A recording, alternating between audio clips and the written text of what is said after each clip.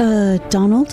They were wrong. Susie Wiles, Chris LaCivita, Tony the Pollster. They got it wrong. President Joe Biden has just announced that he is dropping out of the 2024 presidential race. They told you that Biden would never quit. That you should spend all that time, all that money, so much money, focusing on Biden. How he's too old. Now it's Harris. She's younger than you by a lot.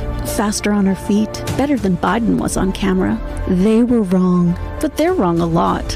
Wrong that Vance would help you. You know he's terrible. Wrong that you have the race sewn up.